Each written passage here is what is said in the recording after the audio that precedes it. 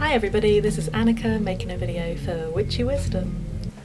So this week's topic is how did you find your path? And uh, for me, um, it was quite a long time ago now, over 15 years ago. And um, I think what started it was basically my mum telling me that she was pagan. And um, it then I wanted to obviously learn like what is that, what does that mean, and she did tell me a little bit about it, and she also um, bought me and my siblings some books to kind of explain more. So she gave me like a great big kind of en encyclopedia of New Age and things like that, things to do with yoga and crystals and just loads of random stuff. I can't really remember what it was, but um, it definitely sparked my interest.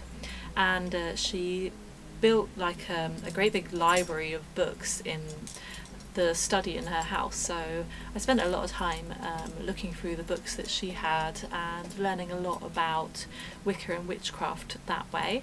And um, then she also got the internet or my parents got the internet uh, and so I could start um, sitting on the home computer and googling or did Google exist back then? I don't know. Um, looking up information to try and learn some more.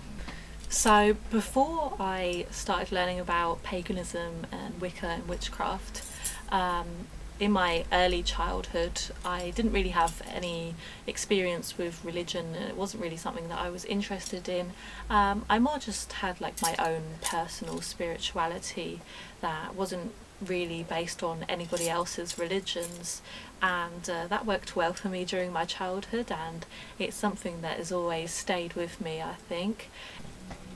So I decided after a while that paganism was definitely for me, it was something I was interested in, the whole idea of earth-based spirituality or nature based spirituality was very interesting for me. And so I decided to take a year and a day to study Wicca and decide whether that was for me. And uh, so I spent that time learning as much as I possibly could.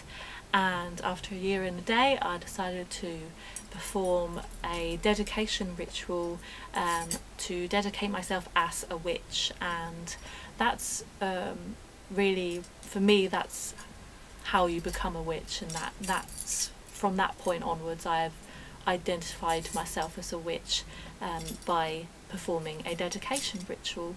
And so since that point onwards um, over the past 15 years I have researched a lot and developed my beliefs a lot and come to greater understanding and learning more of the facts and the information and um, I've also explored various different spiritualities and looking into other religions as well because um, I think it's important to kind of compare and contrast different religions and in order to see you know what works for you and and what kind of philosophies make sense to you. I think it's really important to explore as much as you can or as much as you're ready to because you can only go into what you're ready to understand at the time. So it has been a, a long and gradual journey of um, gradually widening my horizons when it comes to religion.